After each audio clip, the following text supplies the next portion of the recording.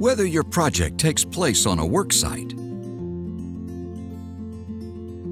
in a classroom, or your garage at home, nothing powers your power tools like a lithium ion battery. But before you tackle your next project, think safety first. Take charge of your battery. Choose right, use right, stay safe. When it comes to selecting the right battery, there's one thing you should keep in mind. Batteries are not interchangeable. It's important to only use batteries and chargers from the original power tool manufacturer. These batteries are specifically engineered and tested to work optimally with the tools and chargers from the original manufacturer. They're also designed with smart technology to monitor battery health and ensure a safe and longer lasting product. But let's say you choose an aftermarket or counterfeit battery. These batteries may not include all the safety design features or undergo the necessary testing and quality controls.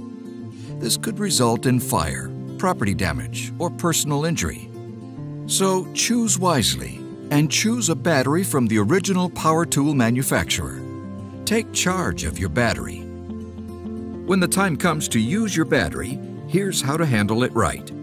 Always transport and store your lithium-ion battery as instructed in the owner's manual.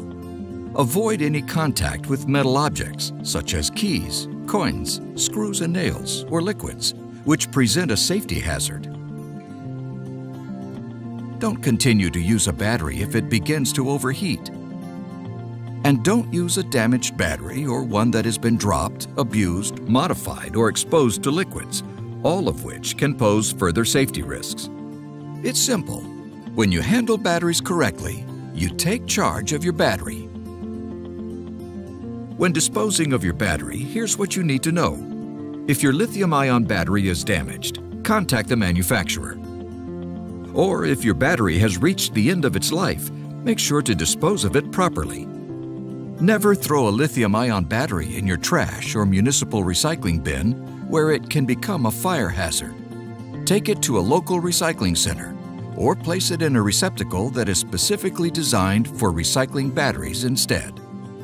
Using this knowledge, you can now enjoy a safer, smoother project.